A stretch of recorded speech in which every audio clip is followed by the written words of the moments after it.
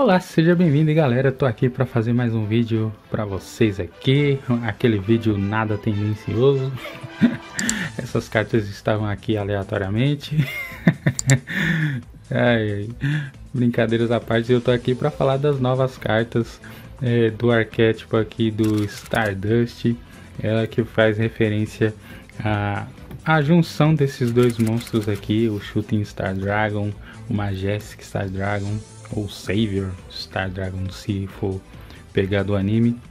Então vai ser meio que a junção desses dois monstros e vem novas cartas para a gente estar tá utilizando para meio que facilitar a invocação desses monstros e um deck praticamente focado no Stardust e focado no Majestic, certo? Então vamos lá galera, já deixa aquele like, se inscreva no canal, ativa as notificações aí. É muito importante você deixar o seu like, é muito importante você deixar o seu comentário para a gente estar tá podendo divulgar o nosso trabalho para mais gente. E eu agradeço muito todos vocês que têm ajudado esse canal a crescer, beleza? Então vamos focar aqui no vídeo, que é o que? É, as novas cartas que vão vir aqui na Down of Majestic é, vai vir com boss monster, com cartas mágicas, é, armadilhas e monstros novos focados aqui é, nesse é, ambiente aqui que seria a invocação do Majestic, certo? É, eu tô é, bem esperançoso que essas cartas cheguem o mais rápido possível em alguma coleção até porque o Supernova Dragon tá até agora sem vir pra cá e eu já tô ficando agoniado. e eu quero estar tá utilizando essas cartas o mais rápido possível porque é, para mim é um, uns cards que eu gosto bastante eu quero estar tá utilizando em duelos para vocês, beleza? O primeiro card é o Dragão Convergente do Desejo, que eu vou estar tá lendo aqui junto com vocês. E é, eu vou meio que dizer o, o, qual é a função desses cards. O dragão convergente é um monstro dragão regulador de efeito, um dragão de luz, e ele é level 1, ataque e defesa 0. Você só pode é, fazer invocação especial do dragão convergente uma vez por turno e ele não pode ser usado como sincro material, exceto para a invocação síncro de um monstro Majestic, ou seja, ele é praticamente uma variação do Majestic Dragon, certo? Primeiro efeito dessa carta aqui é o nome dessa carta se torna Dragão Majestoso enquanto estiver no campo ou no cemitério. E o segundo é quando você comprar esse card, você pode revelá-lo, fazer a invocação especial da sua mão então, se você controlar um dragão síncro de nível 8 ou superior, você pode fazer a invocação especial de um monstro dragão de nível 1 do seu deck. Ou seja, é praticamente fazendo referência a, ao momento que foi invocado o Majestic, que você vai estar tá utilizando seu monstro. Se o Stardust estiver no campo, basicamente você vai trazer qualquer dragão de nível 1. Você traz ele, utiliza dois monstros aqui e já faz o seu Majestic Star Dragon, beleza? O segundo card aqui é o Stardust Synchron, esse aqui também é, carrega o arquétipo que você pode estar tá dando alvo pelo Junkie Speeder, é o velocista Socata, que ele busca é, reguladores Synchron, então você vai poder também estar tá utilizando essa carta por esse efeito. E ele é um monstro máquina é, de luz, regulador. É um monstro de nível 4 com 1500 de ataque e 1000 de defesa. Você só pode usar o primeiro e o segundo efeito desse, é, card uma vez por turno. Se essa carta estiver na sua mão ou no cemitério, você pode tributar um monstro. Você não pode fazer invocação especial do extra deck pelo resto desse turno, exceto monstro synchro e também é, você pode estar tá invocando essa carta por invocação especial, mas você vai banir quando deixar, no, deixar o campo. No segundo, se essa carta for invocada normal ou especial, você pode tá é, adicionando uma magia ou armadilha que liste especificamente Stardust em seu texto do deck para sua mão.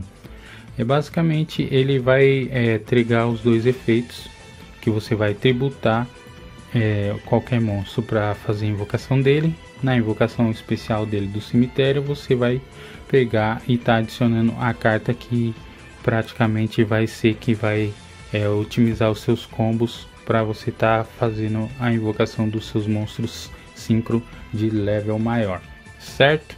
Próxima carta aqui, a Stardust Trail, a menininha aqui, ele é um monstro é, dragão de luz com level 4, ataque 500 e defesa 2000. Só pode usar o primeiro e segundo é, efeito dessa carta uma vez por turno cada. Primeiro efeito, se essa carta está na sua mão ou no cemitério e o monstro que você controla é tributado, você pode fazer a invocação especial dessa carta, mais mana quando deixar o campo. Então ela também vai poder estar tá combando com a carta anterior. E o segundo efeito, se o monstro Warrior Synchron ou Stardust é, for invocado por invocação especial, essa é, usando essa carta como material, você pode fazer a invocação especial de um Stardust Token, Dragão Luz, level 1, ataque e defesa 0. O Warrior, que está listado no efeito dessa carta aqui, é o Warrior arquétipo, não o guerreiro é, tipo, entendeu? Próximo card vai ser o Boss Monster desse booster, que é o Shooting Majestic Star Dragon ou Shooting Savior Star Dragon, dependendo da forma que você preferir. Ele que basicamente é a junção desses monstros aqui e para fazer ele precisa de um Majestic Dragon, um monstro não regulador, incluindo um, star, é, um dragão 5 é, e deve primeiro ser invocado por invocação síncro. Isso quer dizer o quê? Que ele não está preso ao arquétipo do poder estelar. Você pode estar tá utilizando com o próprio Arquidemônio Vermelho ou também outros decks, exemplo o Dragonite. O Dragonite também pode estar tá utilizando. Eu não sei outros arquétipos que pode estar tá é, utilizando esse monstro como monstro principal, diz aí nos comentários. Mas basicamente você vai estar tá podendo utilizar é, este monstro aqui que ele é um monstro dragão de vento, por isso que eu falei dos Dragonites, é um dragão síncro é, com level 11, ataque 4000 e defesa 3300, beleza? E a questão dele dever ser primeiro invocado por invocação síncro é caso é, tenha um efeito que envie ele para o cemitério, aí você queira reviver, você não pode reviver ele dessa forma. Você primeiro tem que cumprir o requisito que é fazer ele a invocação dele por invocação síncro, só para o pessoal não se confundir. Os efeitos dele é uma vez por turno você pode negar os efeitos de um monstro que o oponente controla. E dois para cada Stardust e cada Synchro que liste especificamente aquela carta em seu texto, essa carta pode fazer um ataque adicional durante a fase de batalha. Então, basicamente, é um efeito específico para o Stardust e é meio que focado, focado nele, mas você pode estar tá utilizando essa carta é, em outros arquétipos, mas só que o segundo é basicamente é, voltado para esse, certo? E o terceiro é uma vez por turno quando seu oponente ativar uma carta ou um efeito. Por efeito rápido, você pode banir essa carta até a fase final. E se você fizer isso, você nega a ativação. E se você fizer isso, você bane aquela carta. Basicamente, o efeito do Shooting Star Dragon. Beleza? É um card muito bom. Um monstro grande, forte. E ele vai te ajudar bastante. Ainda mais por esse efeito rápido aí. Que vai estar tá podendo negar e banir uma carta. Próximo aqui, uma magia contínua, é o Arriving Miracle. é, quando essa carta é resolvida, você pode colocar um monstro dragão de nível 1 é, das, da sua mão ou do deck no topo do deck, que é basicamente é, na variação dela, que quando você compra você pode revelar e fazer a invocação. Então já vai te ajudar a, a ter esse monstro no campo. É bem interessante. Ou qualquer outro monstro que você precise na hora para estar tá fazendo. Então já vai te ajudar bastante a, a fazer a invocação síncro.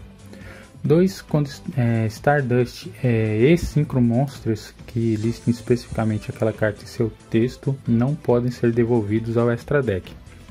Esse efeito quer dizer o que?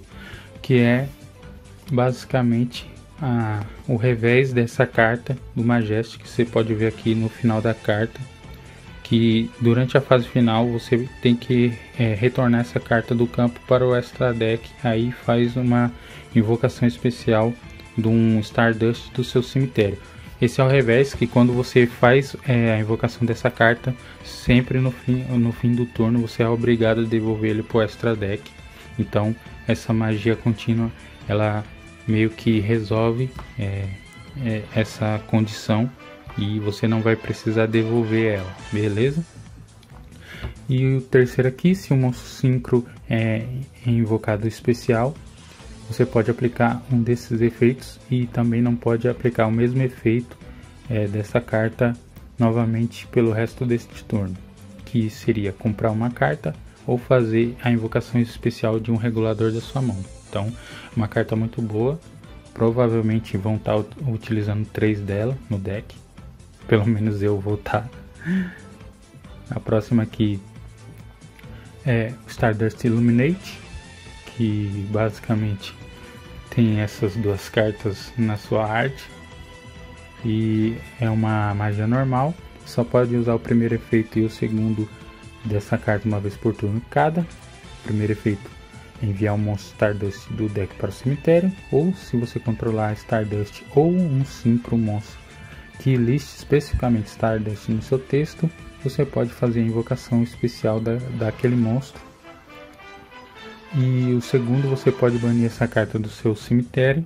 Você pode dar alvo no Stardust que você controla, aumente ou diminua o seu nível em 1 até o final deste turno, que basicamente é tem reguladores com é, um nível ou maior ou menor que pode meio que te atrapalhar, até porque o boss monster é nível 11, então o nível 11 é, é bem complicado de você estar tá fazendo quando você segue o padrão de invocação de monstros é, na questão aqui do poder estelar, certo?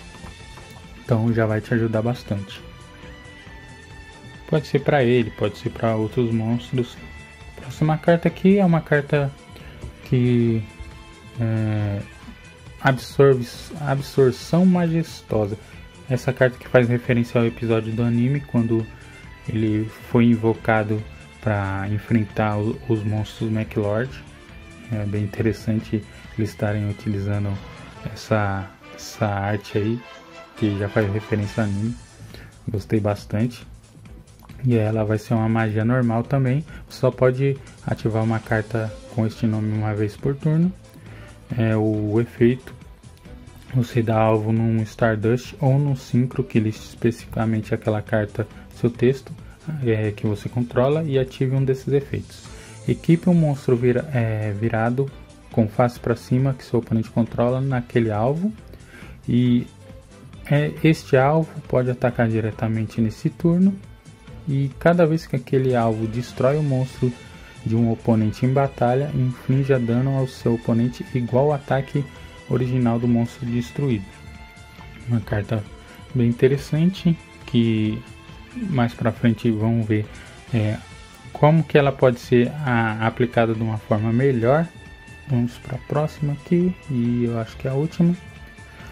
O Majestic Mirage se um Stardust Dragon ou um 5 monstro virado para cima que ele especificamente aquela carta de seu texto que você controla sai do campo para ativar seu próprio efeito ou é, por, é, por seu próprio efeito você pode aplicar um desses efeitos e também não pode aplicar o mesmo efeito de Majestic Mirage novamente pelo resto desse turno. É, você faz a invocação especial desses monstros desse monstro. Ou você pode banir um monstro que seu oponente controla ou em seu cemitério. E todo o dano que você sofre nesse turno é reduzido pela metade. Então essa é, é, armadilha contínua ela vai fazer a utilização pelo efeito do próprio poder estelar. Acho que aqui do Shooting Star Dragon e também eu acho que seria do do poder estelar modo de ataque, se eu não me engano. Então vão ser essas três cartas que vão aproveitar esse efeito. Então já é um ganho, porque é, sempre quando é, for destruído um ou mais cards ele sai, então na hora que ele sai ele já volta, já é muito bom, que vai impedir que seu campo fique aberto, beleza? Isso serve para as outras cartas que eu citei. Então galera, é um deck que vai ser focado no Stardust e na invocação do Majestic. Possa ser que é, a, o deck de Stardust ou de Junk que já é utilizado, a gente possa só estar tá modificando algumas cartas que o deck vai funcionar ou provavelmente vai ser uma estratégia voltada só para a invocação desses monstros. E eu creio que vai ser um, um deck bem forte porque monstros sincro é, a tendência é que tenha efeitos de proteção então vai ser bem interessante de estar tá utilizando essas cartas aí, fazer um deck só focado no Stardust. Quem sabe a gente possa fazer um Stardust versus Arquidemônio Vermelho, tendo essa carta aí do Shooting Majestic Dragon versus o Supernova. Deixa aí nos comentários se você está querendo um embate dessa, desses decks aí, beleza? Então, no mais é isso. Espero que você tenha gostado. Espero que você esteja é, ansioso por essas cartas assim como eu e deixa aí nos comentários é, o que você pensa sobre essas novas cartas que eu vou estar tá lendo e comentando junto com vocês. Beleza? Então, no mais é isso, valeu, falou e até o próximo vídeo.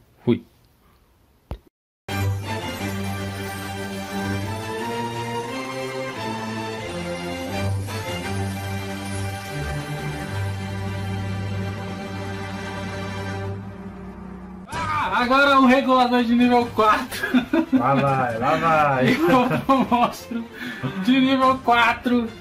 Vou trazer para o campo pela primeira vez. Meu monstro 5 de trevas. Hum. Borreload hum. Savage Dragon. O brabo. O brabo. Então vou fundir da minha mão a Wendy e o Camara Mágico Palhaço Ardiloso e vou fazer a fusão da Elson Branef Constructor. Eita! Venha para o campo meu mais poderoso monstro. Morre o Sword. Morre o Sword. Morre o Sword. Sword Dragon ativo a invocação. Eu vou fingir. Aleister. E o monstro do atributo luz.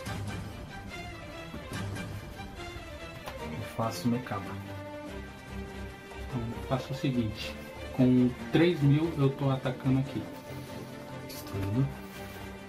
Utilizando o link 2 mais dois monstros.